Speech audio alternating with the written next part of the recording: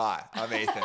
And I'm Georgia, and yeah, we're related. Today we are going to be talking about a show that we both love. Uh, you know, we both got some fun lockdown memories of it. Uh, Grey's Anatomy. Uh, and you know, you might think these guys, what's going on? A bit of a fall from grace, not their usual selves. This is our first time filming in six weeks, so just be nice to us, please. Please be kind. Lead with kindness. We've lost it. that it factor. Well, you know what had an it factor? Grey's Anatomy. I'm going to quickly recap the plot for you. The pilot introduces five new surgical interns Meredith, Christina, Izzy, Alex, and George as they embark on their first shift, which proves to be quite backbreaking and occurs over 48 hours. I don't know what labels you guys got over there. It's a long shift. that is too much, babe. I used to do three and a half hour shifts at Coles, and they were tough. and I wasn't even saving lives. You're really you were directly. grinding in the working class with your three and a half hour shift. I was saving lives indirectly, giving the people the food they need. So That's true. We're all lifesavers some in some way, shape, or form. But but this episode was watched by an American audience of 16.25 million people. So you know we're not the only ones who loved it. Well, really, we're going to do something a little different this episode. You know, we're going to be talking about how it sets up the five main characters, the interns in the episode, and how that kind of continue. You know, it sets their characters up for the rest of the show.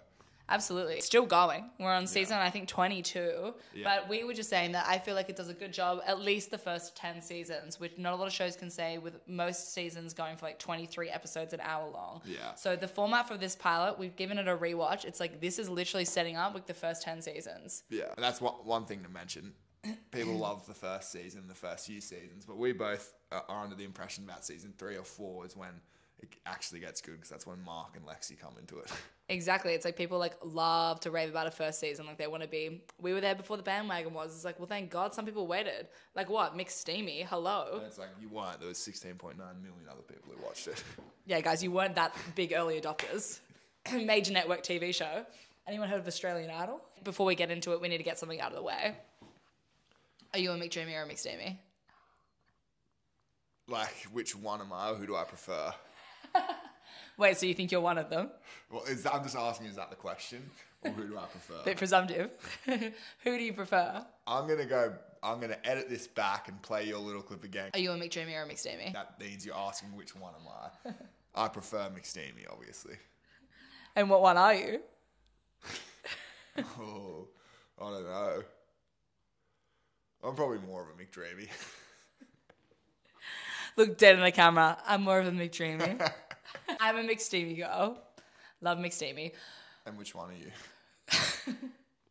Neither I'm a flop. Why don't you just come back down here and we'll pick up where we left off? No, seriously. You have to go. I'm late. The opening scene shows Meredith and Derek kind of on the floor, and then Meredith running around. She's had a one night stand. She is freaking out. It's her first day of work at a new job. And so she's like, I'm running late. She's freaking out. She's like, Sir, you have to go. And he is like, Um, round two though? Like, he's trying to riz. He's like, Yeah. This girl looks beautiful. And she doesn't want a bar of it. And, you know, sets up their dynamic for the rest of the show quite well because we didn't say, but Derek is the main love interest for Meredith throughout the show. And, you know, but until they end up together, spoilers, um, it's very much on Meredith's terms. And he's the chaser and she's the chasee. She's literally running away from this man in this Yeah. scene. She's like, "Uh, Get away, like, run. Yeah. He's like, Uh, what? And she forgets his name, which is just beautiful. I. Um. Derek. and she's like so cute about it. I'm like, I didn't realize you could be so hot. She's like hot. She's she's the definition of a hot slut. she's like, sorry, who are you? All sluts are hot. Justice for We- hot sluts. We love sluts. okay, the next scene that we see, the next scene we see Derek and Meredith. Dog. Here you go. Nah, here you go. Just chill. So cool. You go. Okay. So the next scene that we see, Derek and Meredith, they still are un- unaware that they are now working together because Derek's an attending at the hospital she's an intern at, and she she needs medical help. They're like, go get Doctor Shepherd. She's like, obviously doesn't even remember his first name. So there's no way she got his last name last night. No shot. She goes to get him. Oh shit, it's Derek. They make eye contact. She runs away. He chases her down. And that's the dynamic. he's a chaser. He Loves literally imagine a woman running away from you, and he's like, "I'm gonna make this look charming," but literally sprint after her. Yeah. and God, he pulls it off. And then they're in the hallway, and it's like, "Ooh, There's a, there's a little chat going. There's a little bit of Yeah. riz. There's Uh, some sparks flying. Derek is he's laying down the law. Yeah. The law is I'm a hot baddie and I want you. Yeah. Dr. Shepherd. This morning it was Derek. Now it's Dr. Shepherd. what a line. He's just oozing charisma in this scene. We love it. Meredith loves it. And Meredith is trying to not. She's trying her best because she's a respectable woman. She's Yeah. like, you are in charge of me. Yeah. Like, haven't you ever thought this is Yeah, inappropriate? good on her for having some boundaries that he completely ignores. and continues to. yeah, but it is like you know she's not. She's saying that she's not into it, but this is where you see the chemistry of the two the two leads, which kind of holds the whole show together. It's like this this is these looks. Like you can tell she's like no looks? no, but No. Yeah, and it's like you can the, the two mains just have great chemistry. Yeah, Ellen Pompeo and Patrick Dempsey have talked a lot about this as well in their relationship, like on and off screen is like so close, and you can just like see in this exact like scene, like the way that she's like looking at him, those little looks, Yeah. the look back, it's like they're just holding the tension so perfectly, and also I guess like the writers in that moment, they were like, hey, I've got a second here, let let's get them to just look at each other, no script, no dialogue, Yeah. perfect. So there's fun final scene we want to talk about for Meredith and Derek, but before we get into it, we better give you guys a bit of um, context. So one of the main points throughout this first episode is Meredith has a patient who's having seizures and they can't figure out why. So Derek puts out an incentive to any intern who can find out why gets to scrub in on the surgery, on brain surgery with him. And Christina approaches Meredith and is like, hey, girlie, let's work on this together. And then they spend the days kind of trying to figure it out. They figure it out. Meredith, Meredith figures, figures it out. out. And then Christina and her have agreed, though, that she will not be scrubbing in because like she doesn't want to be in the room with Derek. She's all like, I can't. kind of vibes. You know? And so then they go to Derek and they say, hey, this is this is what the issue is. And Yeah. they're right. Yeah. Derek's like, oh my gosh. All right. Meredith, you're scrubbing in. And Christina's pissed about it, but we'll get into that later. So that brings us to this scene that we want to talk about where, you know, Meredith approaches Derek and she's like, I don't want to like let Christina scrub in. She really wants it. I don't want to scrub in. essentially she's like, did you only choose me for the surgery because we slept together? Yeah. And he's like, yeah. And then he hits her with a just kidding. Yeah, but it doesn't really seem like he's kidding. But it's really good because then he says He essentially, talks her into it, yeah. he's like, you should not let us having sex get in the way of you doing a surgery that you earned. You're Yeah. her doctor. Yeah, and you found the you found the issue. You earned the right, irregardless of the fact we're sleeping together. And this is like shows a really good part of their relationship in that he's also a mentor, which Yeah. is complex, which yeah, we can we can it's understand. like a complex power dynamic, but Absolutely. But I feel like the show consistently addresses it and does interesting things throughout these seasons to address their power dynamic. And but in this moment I think it does show like why the love, interest and the chemistry is so good because it's like even when I feel like Meredith is being kind of abrasive and trying to go up against Derek, which happens a lot, he still is very supportive. Like his Yeah. mentor role is to support her. Yeah. She's like he's like, Hey, like you should do this. Yeah, Like, here we're not seeing the like the romantic side of their relationship. This is like hot illustrating yeah his like him in mentor mode because she is an intern, he's an attending. He needs to mentor her, and here he does. He talks her into it, and she does the surgery, and she kills it. and that's why they call him McDreamy. And then she has this funny line about like how, how it was such a high, and like why would anybody ever need drugs? And it's like, well, she's clearly never woken up and had ten hongers for breakfast in Thailand. Have you? Nah, not into that. So I don't want to say it, but George is a deeply relatable character to me because in the first scene, he dubs himself unforgettable. No, forgettable. Oh shit.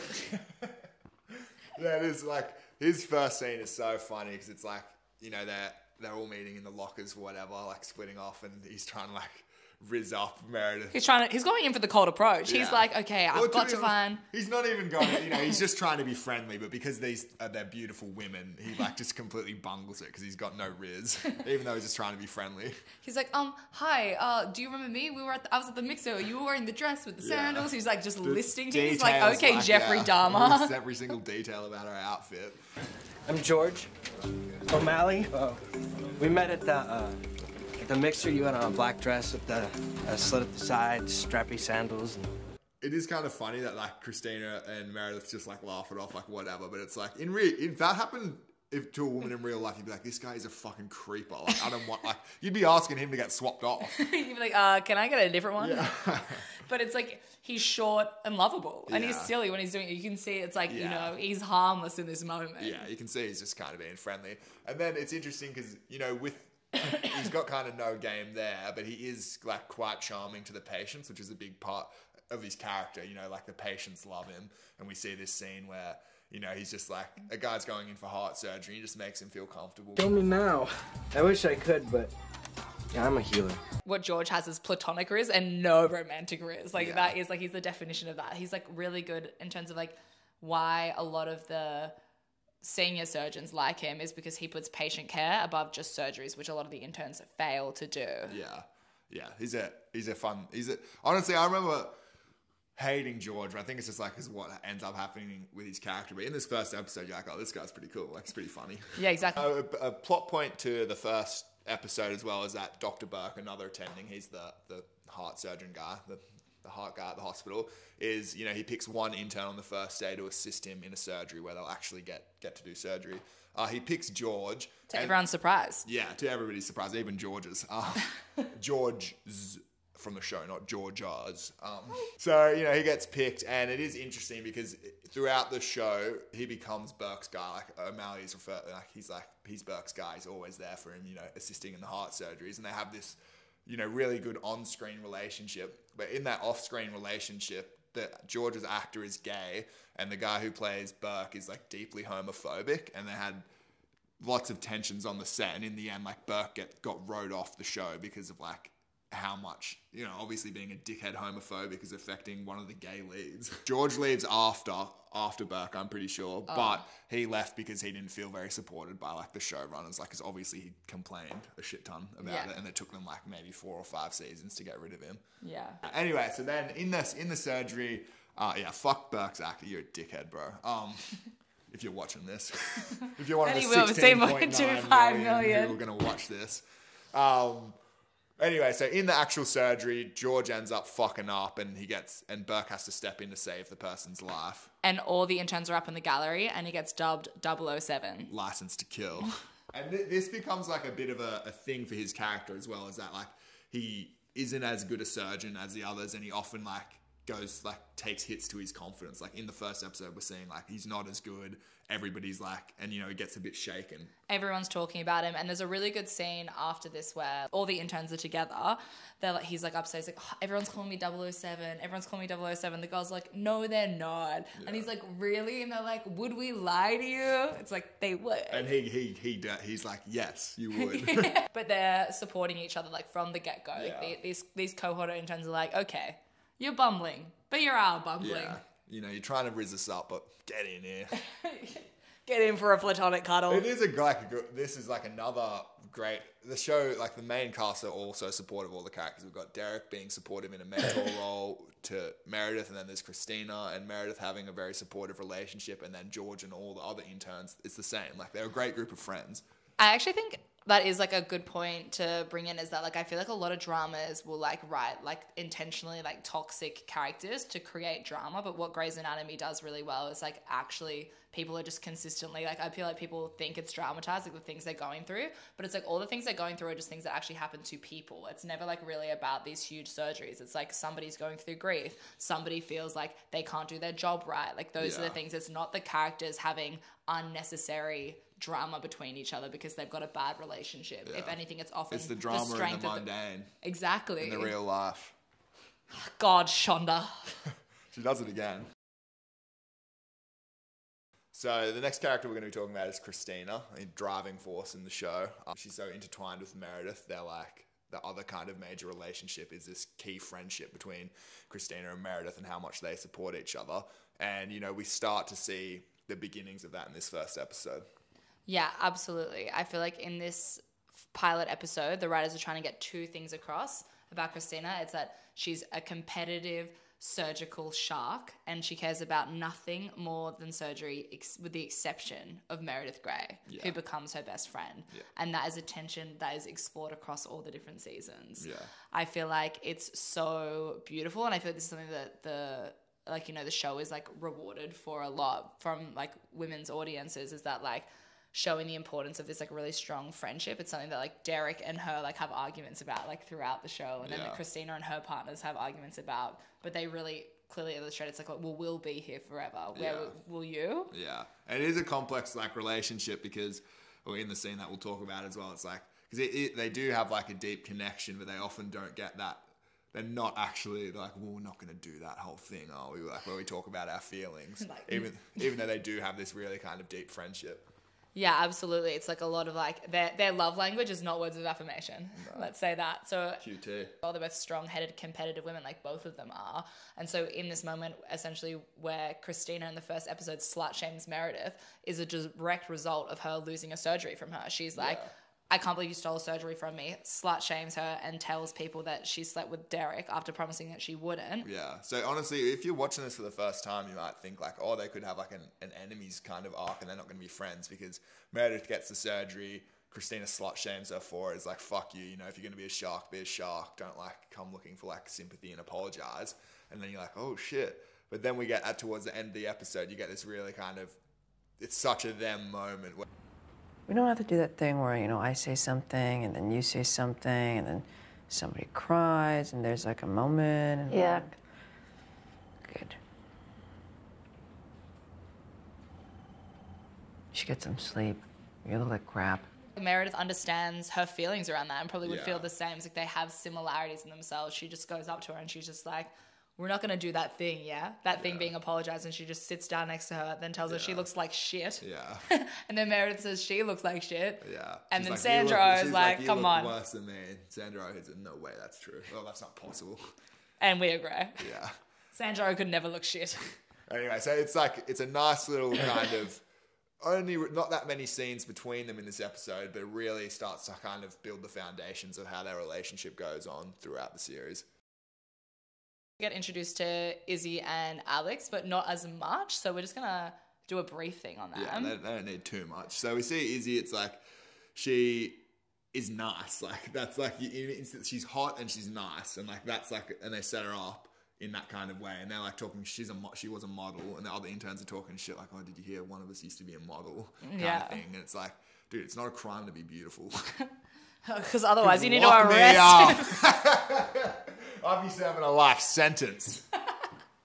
Okay, With all- Dharma. With, with all the other beautiful bitches. that Yeah, sounds like know what? hell. Yeah, so I feel like Izzy's character is done well. Again, she doesn't have as much screen time as some of the other leads, but they introduce like kind of what she struggles with throughout like all the seasons is that she's immediately seen as the model and beautiful and that she's nice and as a result of being nice kind of similar to like george being nice like she's not she's like not cutthroat she's like not as good as meredith and christina who set as their sort of key relationship with each other izzy's Yeah. like a bit of a supporting role in the friendship because she's too nice Yeah, and as well as like later on in the show, as even like a, a bit in this episode, like she lots of like sexism towards her because she's like beautiful and nice, and that's like that happens a lot throughout the show. Like she just gets typecast as being like dumb and like you know you're not right for this. It's like what because she's hot. Yeah, and that happens like consistently from all different levels of staff, including like her own like friends. And so it's like interesting. Like I actually think they do a really good job like with Izzy Stevens' character, which is something that you know is up to a lot of controversy, like with the actor between Shonda Rhimes and Katherine Heigl. But like this is a well written character because like she is really beautiful and this is a thing that happens to a lot of women and they don't like throw it in your face. It's just like consistently like throughout every episode there's almost like always a line about how attractive she is. And it's so particularly interesting. This is like a bit of a spoiler from not this episode, but her big love interest, like Denny Duquette, like the reason that she becomes interested in him is because she doesn't feel beautiful around him, and that's like the whole the whole reason she falls in love with him. You know? Yeah. Then the other main intern throughout the show is Karev. But honestly, if you just watch this episode, you probably wouldn't get the impression he's going to be a main character because all you really see, he's not with the other group. He's assigned to a different um, re- resident, so he's not with the other main interns. And you just see him being like a dick to every. He's like such a dick to the nurse because he's misdiagnosed, and the nurse is like, "I think you've misdiagnosed." He's, he's like, "Fuck you!" Like I'm the doctor, pretty much. And then he gets mad- Barely. yeah. Baby Dr. King. And then he gets absolutely fucking humbled at the end of the episode, which is just a beautiful thing to see. I love a man getting humbled. And yeah, it sets him up as like that's kind of all you get from him in this episode that he's a dick. But like throughout the show, he's like a lovable dick, but you don't see that like very early on. That comes comes to fruition a bit later. Yeah, definitely. Whereas in this, like, I feel like perhaps like he is like, I guess, like he's the toxic character. Yeah. Like essentially, like Karev is set up as like the guy that's going to be like annoying and in their class. He he probably evolves the most as a character. Like Yeah. he's still always a dick, but like you He know, cares about everyone. Yeah, exactly. It's It's, like just he's not like a sexist, whereas in this, like he's literally a misogynist, and then it's like really interesting because like he is predominantly friends with women, and also like in the seasons, like his mentors are women. so he, he is a good character, but in this he's just a dick, and Meredith absolutely humbles him at the end, which is beautiful. Um, so I have a little bit of a uh, think piece here, Ethan, a little TED Talk moment.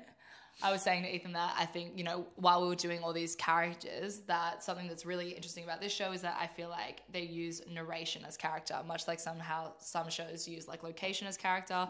Like Texas is like a character in Friday Night Lights, like narration is a character New York in Grey's City Anatomy. is a character in Sex and the City, the fifth main girl. Well, I'm actually a combination of all four characters, five, if you count the city of New York, yes. but it's like really like it's really obviously huge during this time of like filming and television but i think it gets a lot of flack and is seen as like poor writing sometimes which i can't disagree with more like i think that the narration is like really important and often like it, i think it's a strength and like Yeah. we're talking about like in terms of like when you're reading a book it's like narration is often like key and like having these metaphors Yeah, got- it's, it's how it's used though, because it can be used as a crutch where they just explain everything in narration. But the way the Grey's Anatomy does it is it's like metaphors and foreshadowing and stuff. They're not being like, this is the plot and this is what's going to happen. You know, it's like, here's a little poignant little thing for you to think on from the start of the episode, and at the end will tie it into everything. and sometimes it's a bit live laugh There's, love there's some hit and miss ones where you're like, what are they like? What was that? like what are they trying to say but most of the time it's like really like good it's like something like you know generalized like about grief and you're like okay like we're gonna be exploring grief There'll be one, they'll say something, you're like, fuck, a patient's dying in this episode. And then there'll be like four patients, and you get like throughout it, you're like, oh, which one's it going to be? Because I know from the narration, probably someone's going to die. foreshadowing and like narration even if you know stuff doesn't ruin a text it can like actually like make it better it. It can enrich your experience with it. Because you, you start thinking about it, more, like you're more actively engaged if you're like, you've got this in the back of your mind and you're, okay, who's going to die? You're, act, you're much more actively engaging with the media than if you were to just watch it and you don't have any of that. And we love Grey's Anatomy. Um, you know, this is a great pilot. It does, it sets up, like we've just explained, it sets these characters up for how they're going to go forward. And, you know, there's other main characters, we, but we couldn't touch on everybody because this would go on forever. But there's also Bailey and the Chief. We get to see them. and they're incredible and you know i'll just say one thing that doesn't age well in this pilot is like referring to bailey as a nazi for a couple of seasons not good Yeah. if you haven't seen it, and even though we've spoiled a lot of it, I reckon go check it out. well much like shonda's foreshadowing and narration that's all we've done for the for the for the watchers for You'll the be viewers actively like, oh, which one's Meredith? I know she's in love with Derek. and they end up together. Before we wrap this video up, you know, often in when we're reviewing something, Georgia will ask me, "What character are you?" And it's it's hard to say, and you know, It's hard to define you, Ethan. exactly. It's hard to box you You down. You can't boil me down to a two-dimensional character, but but you could to a Shonda because they're four dimensional. So, you know, we thought maybe ahead of time we'll do, we'll do our homework, our research, and we've gone ahead, we've done a BuzzFeed quiz on which which character from the show are we. And I wonder if people are going to get it. Yeah. So why don't you go first, George? I am Izzy Stevens, apparently. Yeah, I too think I look like a model. um, apparently, I'm always bright, shiny, and in a good mood no matter how crappy you're feeling. If I tend to think more with my heart than my head, and that gets me into trouble sometimes. At some point. Uh, and, you know, I got Alex Karev. So it just says, you're a dickhead. And you're ugly hot. no, it says, like Alex, you're strong, independent, and a tad arrogant at times. You're Preach. the kind of person who people underestimate. That's honestly true. But you're much more understanding. so true. Yeah, you're much more understanding and caring than people give you credit for because people assume I don't read. And I'm a fucking bookworm. Well, let us know what doctors you guys Yeah, are. go and ahead, do the quiz. We'll, we'll link the quiz down Yeah. below. And if you've made it this far and you have not subscribed, please do. and leave us a comment saying how much you love us. So, there's only one thing left to do. Ooh, first time. We're getting better. We are. What's up? Bang.